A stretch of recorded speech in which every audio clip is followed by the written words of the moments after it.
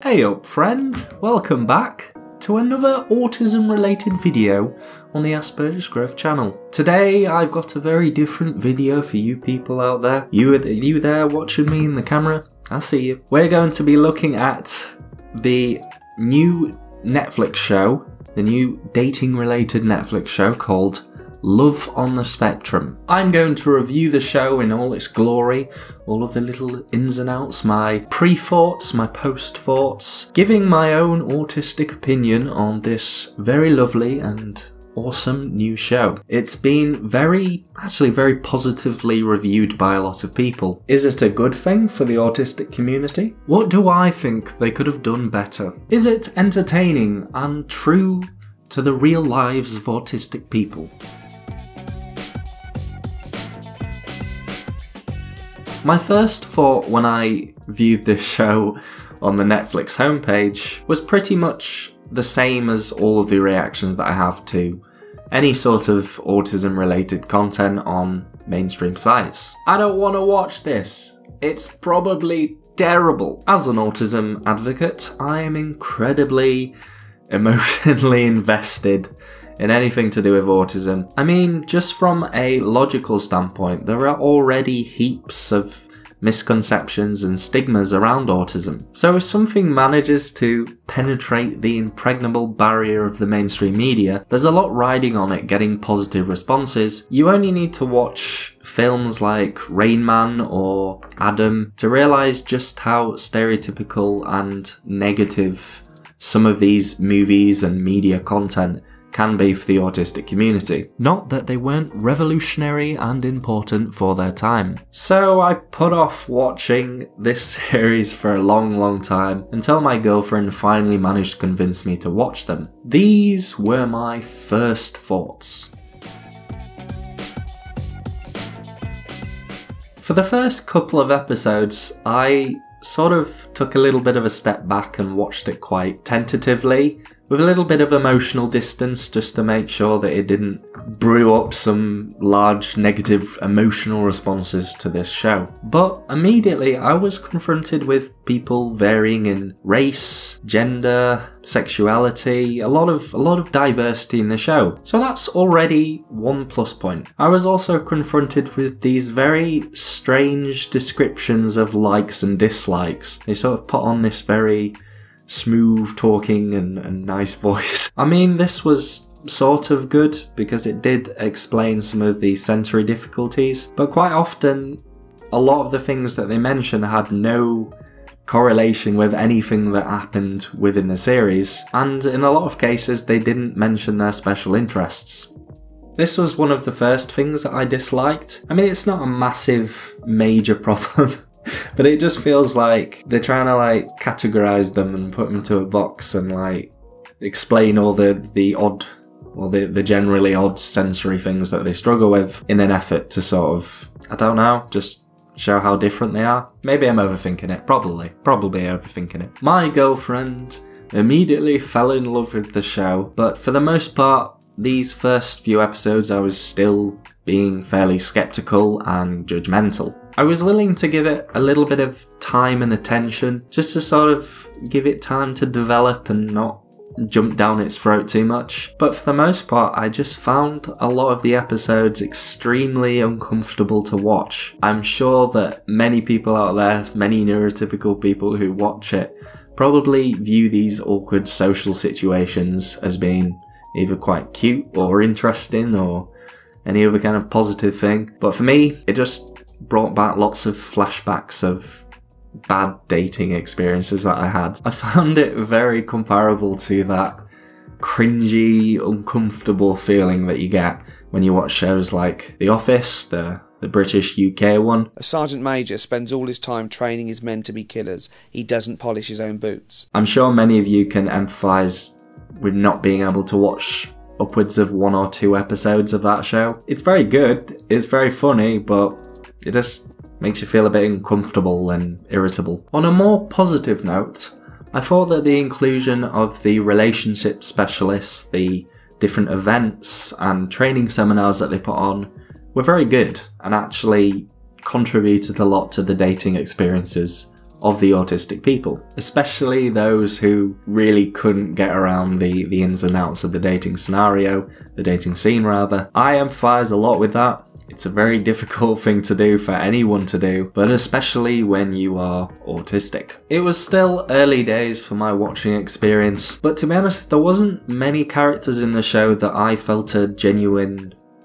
sort of connection with. I don't I don't know how else to put that. I guess people like Maddie and Chloe were quite relatable for me, just because of how much they use humour to dispel, you know, awkward situations, but also their inherent shyness, which, if you didn't know, I used to be very shy and withdrawn, so kind of reflected a lot in my experiences.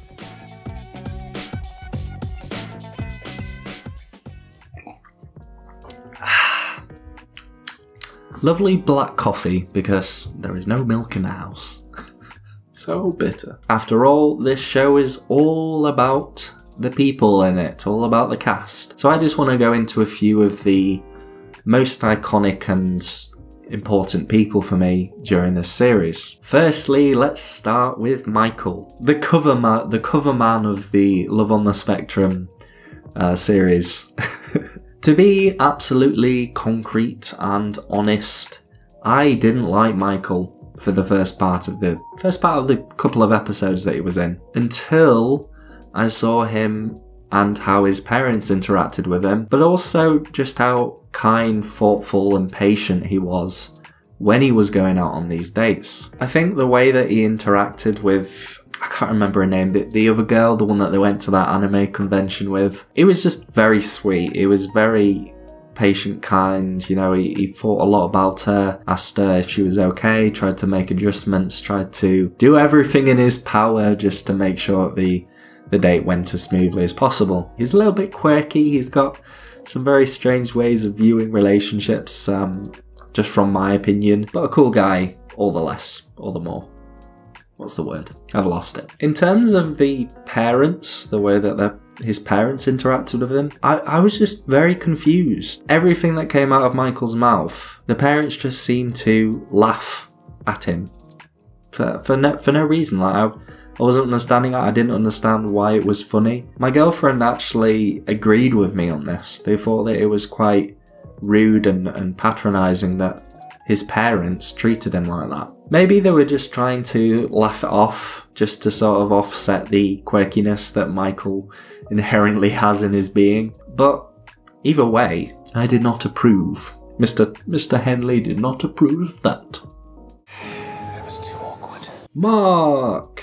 Not Mo Farah. That's a different different guy. Mark is the absolute bomb. I absolutely love Mark. He is a chivalric, he is kind, he is well spoken, he is sociable, and he is a gentleman. Will you go out on a date with me? I feel like in those that first date that he went on, maybe he went a little bit too far with the dinosaur knowledge. There's not much else that I can say about this guy because He's just all round a really lovely, friendly dude. It's a little bit strange with his execution of phrases and general social niceties that people have, but he is one of the first characters that I was just. This guy's awesome, you know? We share their nerves. Would you like to get married? Um. Okay, now, this is our last person that I'm going to review.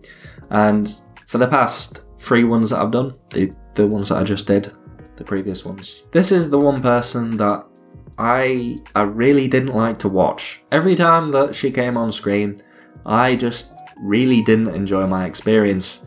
And the episode that she came in and she had that date, and so I went round to her house and checked out her place and all that kind of stuff. I had to stop watching after that. I just couldn't take anymore.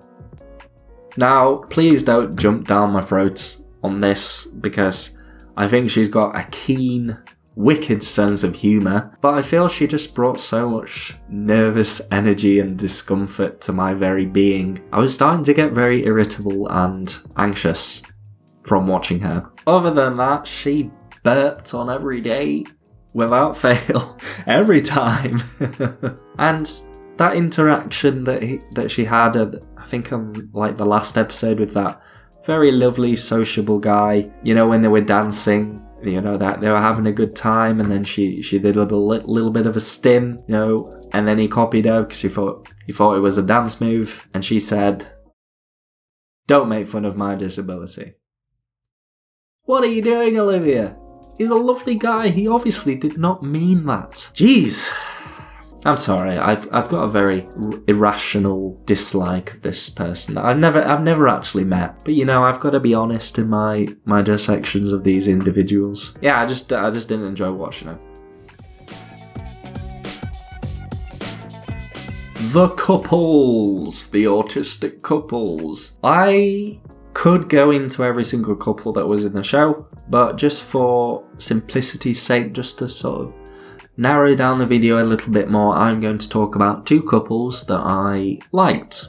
Two couples that I thought were a good addition to the show. Other than the extreme PDA couple, Ruth and Thomas, to which Thomas is an absolute romantic gent of a specimen. The main couple that I gravitated towards was Jimmy and Sharnae. Jimmy and Sharnae. Oh, golly gosh, what a beautiful couple of human beings, if I do say so myself. A beautiful couple in romantic love together who support each other and encourage each other and have a good time and do things different together. And the love and passion these two share together is only second to just how well they work together. Sharnae's way of, of approaching and behaving around Jimmy is a great model for for anybody who has an autistic partner that struggles with one or more of the negative characteristics of an ASD diagnosis patience, understanding, and a calm,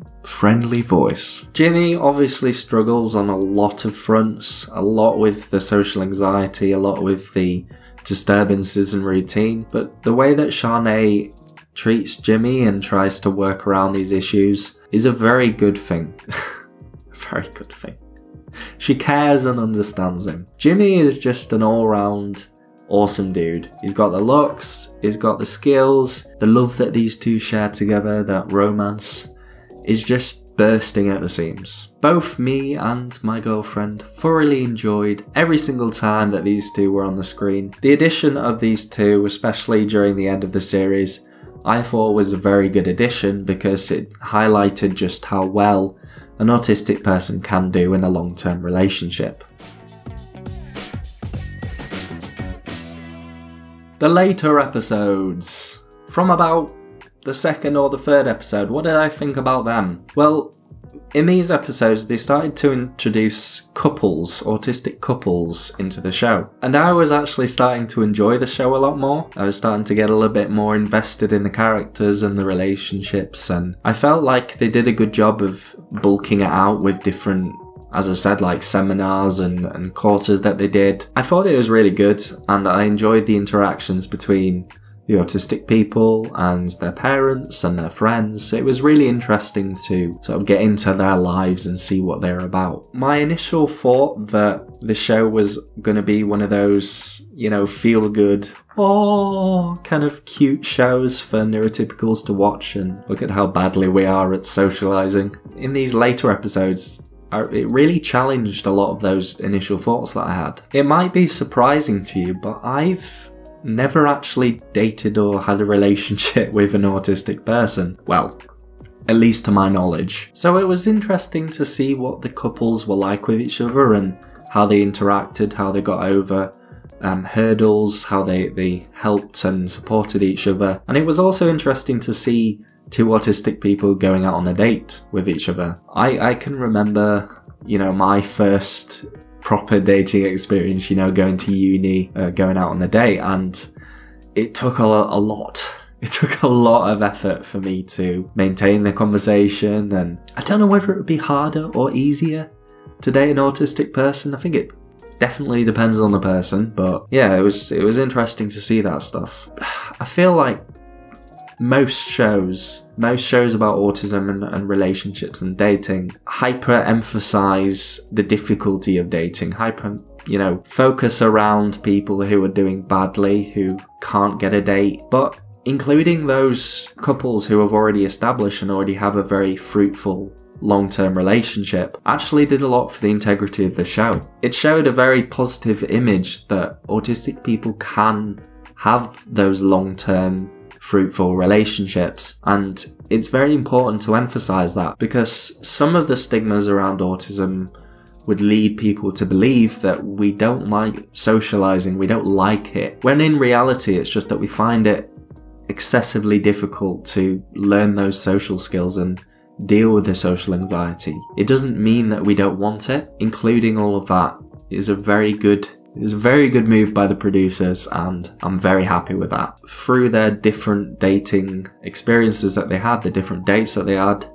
they seemed to grow a lot and learn a lot. And I thought that was re- a really nice addition to it, you know, not just focusing on the initial date by doing those sort of follow up things and showing the improvement that they made in such a, a short space of time was very good. I felt very emotionally invested in these characters at this point and it was it was just really great to see. Overall, I would you know, I would recommend this show.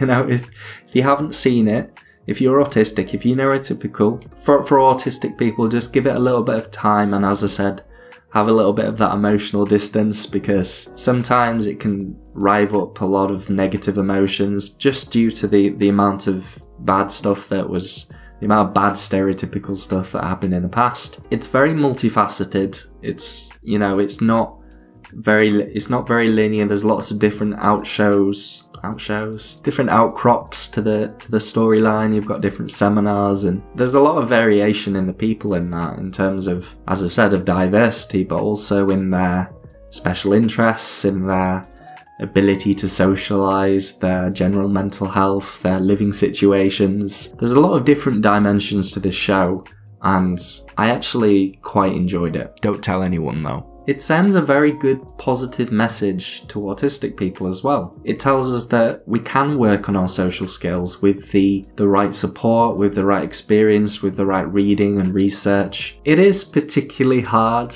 as the show has demonstrated, but it is entirely possible. In terms of what I would like to see from the next episodes, the next series of the, I was going to say dating an autistic series, that's my series.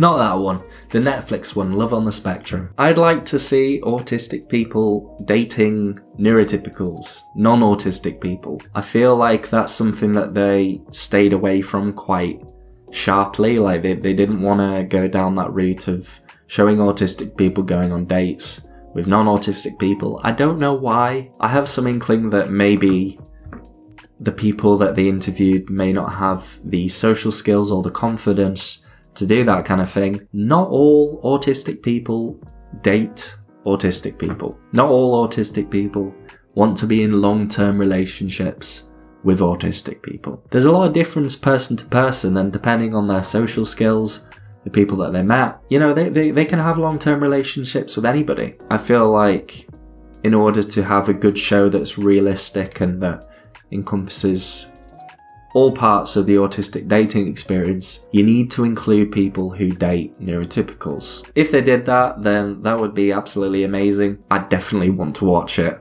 Definitely. So, that just about rounds up the video. Thank you very much for watching. I really enjoy doing these little sit down reviews. I should probably do more of them. For any of you observant types, you may have realised that I'm in a different environment to my normal place of recording, and that's because I've taken a week away to stay at my mum's house, get myself back into that routine for the ever close date that I go back to work. In conclusion, I think that this series is a great step towards autism inclusion in the mainstream media. Hopefully, in the future, production companies will realise just how interesting and novel autism related content can be. If you are interested in learning the ins and out of the dating arena for autistic people, maybe you are dating an autistic person yourself, and you want a little bit more information over the common difficulties, more novel things to dating an autistic person. If you do want to check those out, I have the Dating an Autistic series up there if you want to check it out, just for any future um, times. I think at some point I'm going to be making a website as well, website about me. And with the creation of the website, I'm going to put together a little blog from all the videos that I've done, put out articles to do with the videos just so that if you're not too keen on watching videos, then you can read the blog articles. I just want to say thank you so much to Julian Marks and Mol McCarty for supporting me on Patreon. And of course, Mr. Patrick Vadi. I hope I've said that right. If not, please slap the back of my wrist. Him, both Mol and Julian, thank you so much. The documentary Asperger's in Society has been entered, very interesting piece of news, has been entered to the International Documentary Awards, and I think I'm going to be told what comes of that around October, mid October. So I shall let you know on my social medias. And if you want to follow me and stay up to date with all of that stuff, get notified when the blog comes out, you can find me on pretty much all social media under Asperger's Growth. Somewhere here. Yeah. Much love, thank you so much for the support, and I'll see you in the next video. See you later, guys. Gonna walk off in a dramatic fashion.